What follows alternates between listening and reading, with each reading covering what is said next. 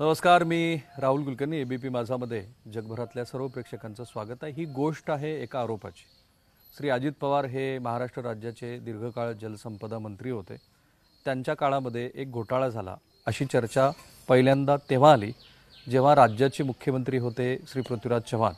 आणि त्यांच्या काळामध्ये महाराष्ट्रामध्ये जे काही जलसिंचन झालं त्यामुळं अतिशय किरकोळ किंवा अगदीच झालं नाही अशा पद्धतीचं शेती क्षेत्राला लाभ झाला नाही अशा पद्धतीचा एक अहवाल आला. आणि त्यानंतर मग श्री अजित पवार आणि त्यांच्या मंडळींनी मिळून सत्तर पंच्याहत्तर हजार कोटी रुपयाचा जलसिंचन घोटाळा केला अशा पद्धतीचा आरोप झाला. श्री देवेंद्र फडणवीस हे त्यावेळेला विरोधी पक्षनेते होते. त्यासोबत विनोद तावडे हेही महत्त्वाचे नेते होते. तर ह्या दोघांनी मिळून छत्रपती संभाजीनगरला तेव्हाच्या औरंगाबादला गाडीभर पुरावे घेऊन ते विभागीय आयुक्त कार्यालयावरती गेले. त्यानंतर या घोटाळ्यासंदर्भातली एक श्वेतपत्रिका काढा अशी मागणी झाली. सभागृह दुमदुमलं. मग त्यानंतर दोन हजार चौदाच्या निवडणुकीच्या दरम्यान हा महत्त्वाचा प्रचाराचा मुद्दा राहिला. म्हणजे गेली दोन तीन दशकं महाराष्ट्रातल्या राजकारणामध्ये भ्रष्टाचार हा फार महत्त्वाचा विषय नाही आहे असं वाटत असताना सिंचन घोटाळ्याच्या निमित्ताने या चर्चेला पुन्हा वाव मिळाला आणि भ्रष्टाचाराच्या आरोपावरून श्री अजित पवार हे अडचणीत आले. त्या पाठोपाठ शिखर बँकेच्या घोटाळ्याच्या चौकशीचे अहवाल आले. त्यामध्ये सुद्धा दोन अडीच हजार कोटी रुपयाचा फटका या खरेदी विक्रीतनं साखर कारखान्याच्या खरेदी विक्रीतनं झाला महाराष्ट्राला बसला अशा पद्धतीचा आरोप झाला. आणि मग निवडणूक झाली श्री देवेंद्र फडणवीस हे महाराष्ट्र राज्याचे मुख्यमंत्री झाले. तेव्हापासून आज तागायत या सिंचन घोटाळ्याच्या तपासामध्ये फार काही प्रगती झालेली आहे असं महाराष्ट्रानं बघितलं नाही. पण आजचा आपल्या मधल्या ओळीचा भाग तुम्हाला असं सांगायला असं समजून घ्यायला मदत करेल की सिंचन घोटाळ्याचे जे काही आरोप आहेत त्याच्यामध्ये आता दी एंड झालेला आहे का? कारण काय आहे, माझ्या हातामध्ये सहा सहा पानाचे दोन मॅटचे आदेश आहेत. ते आदेश असे आहेत की सिंचन घोटाळ्यामध्ये ज्यांना आरोपी करण्यात आलेलं होतं असे दोन अभियंते एकाचं नाव आहे राजेश सोनटक्के तर दुसरे आहेत कन्नाजीराव वेमुलकोंडा. या दोघांनी मॅटमध्ये एक याचिका दाखल केली होती. ते विदर्भ पाटबंधारे महामंडळामध्ये कार्यरत होते. आणि त्यांच्यावरती जो आरोप होता तो पश्चिम विदर्भातल्या जलसिंचन योजनामध्ये त्यांनी घोटाळा केल्याचा. म्हणजे श्री अजित पवार यांच्या कार्यकाळात जो काही काम झालं त्याच्यामध्ये हळूहळू हळू जी चौकशी झाली त्याच्यातनं असं लक्षात आलं की या मंडळींनी भ्रष्टाचार केला आणि मग दोन हजार अठरा साली त्यांच्यावरती एफ आय आर दाखल झाला. आणखीन एक एफ आय आर म्हणजे असे दोन एफ आय आर या दोघांवरती दाखल झाले. पण त्यांची जी विभाग त्यांची खात्याअंतर्गतची चौकशी झाली त्या पहिल्या चौकशीमध्ये त्यांच्यावरती ठपका ठेवण्यात आला. दुसरी जी चौकशी झाली त्याच्यामध्ये मात्र ते निर्दोष सुटले. असं असून सुद्धा त्यांची पदोन्नती होत नव्हती. आणि म्हणून ही मंडळी मॅटमध्ये गेली जो त्यांचा अधिकार आहे. आणि मग मॅटनी जे नागपूरचं मॅट आहे नागपूर मॅ नागपूर मॅटचे उपाध्यक्ष श्री भगवान व सदस्य लोवेकर यांनी या दोन्ही याचिकेवरती चोवीस नोव्हेंबर दोन हजार बावीस बावीस डिसेंबर दोन हजार बावीस चार जानेवारी दोन हजार तेवीस दहा जानेवारी दोन हजार तेवीस आणि बारा जानेवारी दोन हजार चोवी तेवीस अशी पाच वेळेला सुनावणी घेतली. यापैकी तीन वेळेला त्यांनी सांगितलं की तुमचं काही म्हणणं आहे का राज्य सरकारला? या प्रकरणामध्ये या मंडळींचा जो सहभाग आहे या हा कसा घोटाळा आहे याबद्दल तुम्ही काही तो तुमचं मत मांडा. आणि त्याच्यावरती वारंवार विचारणा करूनसुद्धा राज्य सरकारच्या वतीनं कुणीही कशाही स्वरूपाचा खुलासा केला नाही. आणि म्हणून आत्ता जो माझ्याकडे या प्रकरणाचा जो निवाडा अंतिम निवाडा आहे त्या निवाड्यानुसार कोर्टाने असं म्हटलं की तुम्हाला या प्रकरणाची सुनावणी करण्यामध्ये किंवा हे प्रकरण पुढं घेऊन जाण्यामध्ये अजिबात रस दिसत नाही. आणि कोर्ट असं म्हणते it may be observe that the matter was first listed on so and so date and though notices were issued to the respondent they did not file any reply म्हणजे राज्य सरकारने काहीही रिप्लाय दिला नाही. When the matter was listed on twelfth December two thousand and twenty two the learned P O soft time time was granted on the condition that if reply is not filed on the next day म्हणजे तुम्ही चार April दोन हजार तेवीसला आम्हाला तुम्ही reply द्या असं त्यांनी शेवटची वॉर्निंग दिली. Matter will be decided on merits when the matter came up for hearing on fourth April two thousand and twenty three reply was not filed again the matter was heard on 10th uh, january again again before this 10th january matter was first whether heard.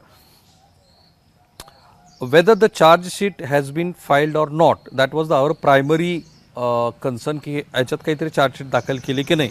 The matter came up for hearing again on that day the learned P O made a statement that pursuant of F I R of two thousand and eighteen chargesheet is not filed against the applicant till today दोन हजार अठराला.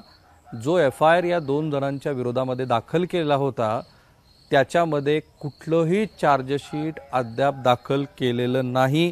दो लले P O vehemently oppose the matter on the merit fact remains that the spite of grant of ample opportunity the respondent did not file reply hence the order मा order काय म्हणालं court mat the respondent are directed to promote the applicant on temporary basis sub subject to outcome of pending cases as held by the honorable supreme court forthwith from the date on which the uh, which the juniors were promoted supreme कोर्टामध्ये ह्या संदर्भातली जी याचिका सुरू आहे त्याला बांधील राहून आम्ही या मंडळींचं प्रमोशन ग्रँट करतो आहोत ज्याला एक्सपार्टी आपण म्हणतो की तुम्ही काहीच म्हटलेलं नाही आहे दोन हजार अठरा साली एक एफ आय आर दाखल झाला आहे दोन हजार तेवीसच्या एप्रिलमध्ये आपण बोलत आहोत एकही चार्जशीट या मंडळीवरती दाखल झालेली नाही.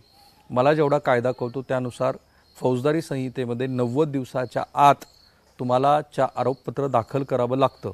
जर एखादा आरोपी हा जर कोठडीमध्ये असेल पोलिसांच्या तर नव्वद दिवसामध्ये आरोपपत्र दाखल केलं नाही म्हणून अतिशय गंभीर गुन्ह्यामध्ये सुद्धा या आरोपींना न्यायालयातनं जामीन मिळालेला आहे. आता या प्रकरणामध्ये महाराष्ट्राला एवढंच पुरेसं आहे की हे जे अभियंते होते कारण त्यावेळेची संख्या बरीच मोठी होती या अभियंत्यांना ज्यांना या प्रकरणामध्ये आरोपी केलं गेलेलं होतं. पण मधल्या काळामध्ये तीन अहवाल आले होते. तुम्हाला आठवत असेल तर एक आला होता चितळे समितीचा अहवाल दुसरा आला होता मेंढीगिरी समितीचा अहवाल आणि तिसरा आला होता वडनेरे समितीचा अहवाल. आणि याच्यामध्ये या तीनही अहवालामध्ये मला जेवढं आठवतं त्याप्रमाणे काही जणांना दोषी धरण्यात आलेलं होतं. आणि वडनेरे समितीच्या शिफारशी तर अशा होत्या की या अभियंत्यांना कार्यकारी पदावर नियुक्ती तसंच पदोन्नती देताना यांच्यावरचे जे आरोप आहेत याबद्दलची खातरजमा करावी. आणि त्याप्रमाणे मग काही ठिकाणी एफ आय आर दाखल झाले काही नावं पुढं आली. पण तुम्हाला आठवत असेल तर ज्यांच्यावरती मुख्य आरोप होते ते श्री अजित पवार यांच्यावरती मात्र अद्याप या प्रकरणामध्ये काहीही झालेलं नाही. इनफॅक्ट तो जो श्री देवेंद्र फडणवीस आणि श्री अजित पवार यां- यांनी मिळून घेतलेला जो शपथविधी होता त्या शपथविधीच्या वेळेला सकाळी ही एक बातमी आली की अजित पवार यांच्या विरोधामध्ये अँटी करप्शन ब्युरोनी त्यांना सिंचन घोटाळ्यामध्ये त्यांचा सहभाग नाही आहे अशा पद्धतीची क्लीन चिट दिली. आता यातलं राजकारण हे कसं वापरलं गेलं प्रतिमा मलिन कशी झाली हा एक भाग आपण सांगितला. दुसरा भाग असा असू शकतो की याच्यामध्ये अगदीच घोटाळा झाला नाही असं म्हणण्याचं धाडस तर कुणी करणार नाही. कारण या क्षेत्रातले जे तीन मोठे तज्ज्ञ होते वडनेरे चितळे आणि मेंढीगिरी यांनी याच्यामध्ये काही ना काहीतरी गडबड आहे हे महाराष्ट्राला सांगितलेलं आहे. अशी शक्यता असू शक शकते की अशा पद्धतीच्या सिव्हिल कन्स्ट्रक्शन वर्कमध्ये जे टेंडर सबलेट केले म्हणजे एकाकडनं घेतले आणि दुसऱ्याला दिले ते करत असण्यात असतानाच्या प्रक्रियेमध्ये मूळ आरोप दोन पद्धतीचे होते. एक म्हणजे रायगड जिल्ह्यातलाच एक प्रकल्प होता की ज्या प्रकल्पाची मूळची कॉस्ट ही अतिशय कमी होती. पण ती इतकी वाढली की नंतर ती चारशे कोटीवरती गेली ज्याच्यामध्ये श्री सुनील तटकरे यांचंही नाव त्यावेळेला चर्चेत आलेलं होतं. अशा पद्धतीनं महाराष्ट्रातल्या जलसिंचन योजनांच्या प्रकल्पाच्या किमती अव्वाच्या सवा वाढवल्या गेल्या. मग टेंडर प्रक्रियेमध्ये घोटाळे झाले. आपल्याच बगल बच्चांना ते टेंडर दिली. त्याशिवाय या घोटाळ्यामध्ये जो निधी दिला गेला तो निधी ज्याला आपण रनिंग बिल म्हणतो तशा पद्धतीचा निधी होता कामं अपूर्ण होती तरी कॉन्ट्रॅक्टरला दिले गेले होते. एक शक्यता अशी आहे की अशा पद्धतीच्या सिव्हिल वर्कमध्ये जी तपास यंत्रणा असते तिला ज्या पद्धतीची एक्सपर्टीज लागते ती एक्सपर्टीज कदाचित नव्हती. आणि म्हणून प्रायमाफासी जरी हा घोटाळा झाला असं तपास या सगळ्या अहवालातनं म्हणजे त्यातल्या काही अहवालातनं जरी दिसत असलं तरी पुढे हे प्रकरण घेऊन जाणं हे तांत्रिकदृष्ट्या अवघड होतं. दुसरं याच्यामध्ये जी अडकलेली सनदी म्हणजे, जलसिंचन विभागातली जी मंडळी होती ती सुद्धा मातब्बर होती. तीही महत्त्वाच्या पदावरती काम करणारी होती. आता जर त्यांच्या विरोधामध्ये कारवाया सुरू झाल्या असत्या आणि तशी जर राजकीय विल असती तर खात्यामध्ये सुद्धा एक मोठा असंतोष झाला असता. आता अधिकाऱ्यांचे इतरांशी लागेबांधे नसतात स्पेशली पॉलिटिशियनचे नसतात असं असंही आपल्याला म्हणता येणार नाही. कारण महाराष्ट्रामध्ये असे लागेबांधे पूर्वी पण होते. ती नावं पण आपल्याला सतत यानं त्या माध्यमातून चर्चेत असतात. तसं झालं असण्याची शक्यता आहे. पण मूळ मुद्दा या सगळ्या प्रकरणामध्ये ज्यांनी खूप मोठी मोहीम उघडली होती त्यांची सत्ता तर दोन वेळेला होती. म्हणजे आत्ता पाच वर्षे श्री देवेंद्र फडणवीस हे महाराष्ट्र राज्याचे मुख्यमंत्री होते. म्हणजे भारतीय जनता पार्टी ही अतिशय पॉवरफुल सत्ता चालवत होती. आता मधल्या अडीच वर्षाच्या खंडानंतर पुन्हा नऊ महिने हे सरकार सत्तेवरती आहे. म्हणजे केवळ आरोप करून पुढं त्याची जी तपासाच्या अनुषंगाने पूर्ती करायला पाहिजे होती त्याच्यामध्ये तर भारतीय जनता पार्टी निश्चितपणे कमी पडलेली आहे. आणि म्हणून आपण असं म्हणू शकतो की ज्या सिंचन घोटाळ्याची गेली दशकभर चर्चा सुरू आहे त्या सिंचन घोटाळ्याचा हा दी एंड आहे का? कारण आता मॅटच्या ह्या सुनावणी प्रक्रियेमध्ये जर राज्य सरकार मॅट समोर येऊन काही सांगू शकत नसेल तर जेव्हा प्रत्यक्षात फौजदारी फौजदारी संहितेप्रमाणे जिथे कुठे या सुनावण्या सुरू होतील समजा सुप्रीम कोर्टात काही मंडळी गेलेली असतील माझ्या माहितीनुसार नागपूर खंडपीठामध्ये या संदर्भातल्या याचिका दाखल आहेत आणि तिथेच सरकारने पहिल्यांदा भूमिका घेतली होती की ए सी बीच्या माध्यमातून की श्री अजित पवार यांचा याच्यामध्ये सहभाग नाही आहे नंतर सरकारने सांगितलं की नाही नाही आम्ही पुरवणी आरोपपत्र दाखल करणार आहेत. पण जर मॅट समोर सरकार काही सबस्टँटिव्ह पुरावे घेऊन येऊ शकलं नाही आपलं म्हणणं मांडू शकलं नाही तर ही कितपत शक्यता आहे की नागपूर खंडपीठामध्ये किंवा सर्वोच्च न्यायालयामध्ये ज्या याचिका सुनावणीला आलेल्या आहेत त्याच्यामध्ये काहीतरी होईल? सरळ सरळ याचा अर्थ असा आहे की महाराष्ट्राच्या सिंचन घोटाळ्याच्या सुनावणीचा हा जवळपास दी एंड आहे. जेव्हा जेव्हा राजकीय कारणासाठी याचा वापर करायचा आहे तेव्हा तेव्हा तो केला गेला आहे. त्यातनं श्री अजित पवार यांची प्रतिमासुद्धा मल मलिन झालेली आहे.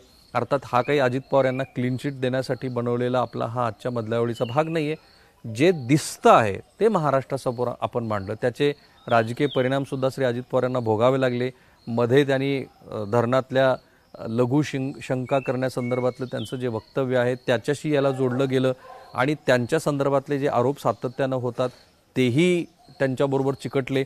आणि म्हणून श्री अजित पवार यांची एक राजकीय नेता म्हणून असलेली जी प्रतिमा आहे त्या प्रतिमेचं निश्चितपणे हनन ज्या घोटाळ्यापासून झालं ते ऑब्व्हियसली सिंचन घोटाळा होता. तुम्हाला आठवत असेल तर ज्या पद्धतीनं हे गाडेभर पुरावे घेऊन गेलेली मंडळी होती त्यांनी सुद्धा या प्रकरणाचा पुढं परस जर ते प्रकरण पुढं नेलं अस नेलं नसेल तर त्याचे अनेक राजकीय अर्थ निघू शकतात. अलीकडे ज्यांच्याशी त्यांचे सौहार्दाचे संबंध आहेत ते त्याच्यामुळं झालं का? अजित पवार यांना राष्ट्रवादी काँग्रेसमधला जो अंतर्गत विरोध आहे तो विरोध लक्षात घेऊन हे केलं का? संभावित पुढच्या राजकीय वाटचालीच्या दृष्टीनं श्री अजित पवार हे आपल्यासोबत येऊ शकतात यायला हवेत अशी भावना आहे म्हणून हे केलं गेलं का? कारण सकाळचा शपथविधी हा महाराष्ट्रानं बघितलेला आहे. प्रश्न फक्त एवढाच आहे की महाराष्ट्रामध्ये एनरॉनचा घोटाळा असेल शिखर बँकेतला साखर कारखान्याचा घोटाळा असेल जलसिंचन विभागातला घोटाळा असेल याच्यामध्ये जरी घोटाळे झाले तरी त्याच्यामध्ये पुढं जर काही होत नसेल तर मग महाराष्ट्रातल्या जनतेचा जो राजकीय व्यवस्थेवरचा विश्वास उडालेला आहे तो असाच उडणार आहे. कारण आजच्या स्थितीमध्ये महाराष्ट्रातल्या जनमानसाचा कुठल्याही राजकीय व्यवस्थेवरती विश्वास आहे असं वाटत नाही. त्यांना असं वाटतं की सबघोडे बारा टक्के. सो थांबूया आपण इथे. आमचा प्रयत्न हाच आहे की एक दिवसभरातली महत्त्वाची जी घडामोड आहे ती घडामोड महाराष्ट्रासमोर ऑब्जेक्टिव्हली मांडावी. आता ते प्रेक्षकांना कळतं की मधल्या ओळीत आपण हे सातत्यानं दाखवतो आहे की महाराष्ट्रात हे जे घडतं आहे त्यातले मधले अर्थ काय आहेत आणि ते मधले अर्थ त्यातलं राजकारण काय आहे त्याचे संभावित परिणाम काय होऊ शकतात? मी आणि ए बी पी माझा आम्ही सर्व सोशल मीडिया प्लॅटफॉर्मवरती आहोत. फेसबुकला आहोत ट्विटरला आहोत इंस्टाग्रामला आहोत यूट्यूबला आहोत. आमचे सगळे प्लॅटफॉर्म तुम्ही फॉलो करायला लागा. तुमच्या जर काही महत्त्वाच्या सूचना असतील कारण काही प्रेक्षकांनीच आम्हाला हे सुचवलं की सर्वोच्च न्यायालयामध्ये निवाडा कधी होऊ शकतो याबद्दलची माहिती तुम्ही आम्हाला द्या. आणि तो व्हिडिओ आम्ही केला. किंवा पालघरमध्ये खारघरमध्ये जे घडलं त्याबद्दलसुद्धा आम आमच्या प्रतिनिधीनं जे बघितलं ज्याला आखो देखील म्हणतो आपण तेही महाराष्ट्राने बघितलं आणि तो व्हिडिओसुद्धा खूप मोठ्या प्रमाणामध्ये पाहायला जातो आहे आम्ही तर असं म्हणू शकतो की पालघरमध्ये विनायक पाटील या आमच्या प्रतिनिधीनंच महाराष्ट्राला पहिल्यांदा सांगितलं की कार्यक्रम सुरू झाल्याच्या एक तासामध्येच जे साधक होते त्यांना त्रास व्हायला सुरुवात झाली होती. सो तुम्ही केलेल्या अशा ज्या मौलिक सूचना आहेत त्याची आम्ही नोंद घेतो.